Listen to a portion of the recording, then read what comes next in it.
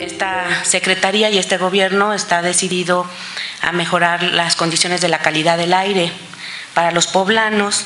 y el programa de verificación vehicular obligatoria requiere una exhaustiva investigación y supervisión del cumplimiento de la norma. De ahí que eh, se ha decidido que se dejará sin efectos la aplicación del programa de verificación vehicular obligatoria para el ejercicio 2020 hasta en tanto no se publique un nuevo programa. Eh,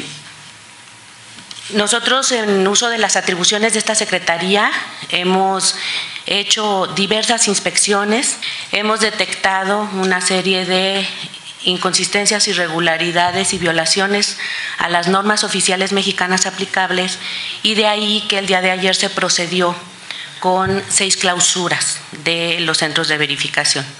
Esto, bueno, pues desde luego nos obliga a que si quien brinda el servicio no está cumpliendo con la norma, no sería legítimo exigir a los ciudadanos que cumplan también con una obligación. Y la intención que nosotros tenemos por instrucciones del gobernador Barbosa es generar una nueva política pública una política pública más ambiciosa para garantizar la mejoría en la calidad del aire y, bueno, pues desde luego